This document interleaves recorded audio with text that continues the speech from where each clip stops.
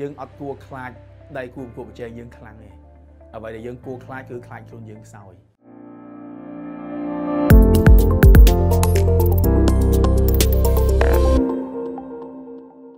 ជួនកាលយើងជាមួយដៃគូប្រកួតប្រជែងរបស់យើងវាថាដរំអសងគ្នាវាដូចអត់មានអាណាឈ្នះអាណាចាញ់សោះអូខេម្ដងគេលេខ1ម្ដងយើងលេខ1ម្ដងគេលេខ1ម្ដងយើងលេខ1 អញ្ចឹងជួនកាលយើងថាជាប់ថ្មីឈ្នះមួយហ្នឹងវិញថ្មីឈ្នះអត់មានតែបង្កើតរឿងអាស្រូវឲ្យគេអត់មានទៅនិយាយអាក្រក់ពីគេណាក្នុងនាមអាជីវកម្មដែលមានក្រមសីលធម៌ចង់ឈ្នះគេធ្វើខ្លួនឯងឲ្យប្រកែបាច់បនឲ្យគេខ្សោយទេព្រោះការបនយើងមិនអាចស័ក្តិសិទ្ធបានចង់ឈ្នះគេធ្វើខ្លួនឯងឲ្យប្រកែខ្ញុំធ្លាប់និយាយទៅកាន់ធីមការងារខ្ញុំខ្ញុំថាយើងអ្វីដែលយើងយើងអត់គួរខ្លាចដៃគូប្រកួតប្រជែងយើងខ្លាំងទេ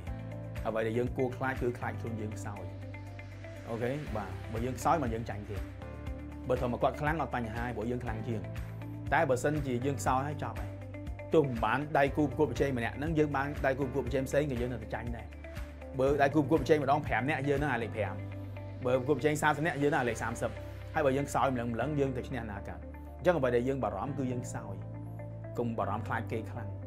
អូខេបាទបារម្ភខ្លាចតែយើងយើងខ្សោយទេអញ្ចឹងធ្វើម៉េចកុំឲ្យខ្លួនយើងខ្សោយគឺគ្រប់គ្រងអាជីវកម្មដោយភាពឆ្លាតវៃគឺគ្រប់គ្រងអាជីវកម្មដោយមានក្បួនខ្នាតត្រឹមត្រូវ